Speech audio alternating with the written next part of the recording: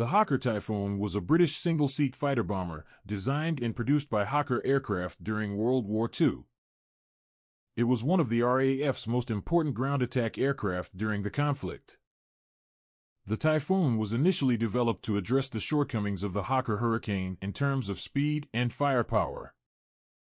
Key features and characteristics of the Hawker Typhoon include Role Originally designed as a high speed interceptor, the Typhoon's role shifted to that of a low level ground attack aircraft, particularly as a response to the German Focke-Wulf FW 190.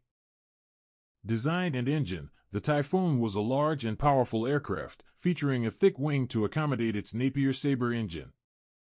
The Napier Sabre was a powerful inline engine known for its reliability and high performance. Armament The Typhoon was heavily armed with four 20mm Hispano Mk2 cannons mounted in the wings. This provided it with a potent punch against both air and ground targets. Ground attack role The Typhoon's design made it well suited for low level attacks. It was used effectively in attacks.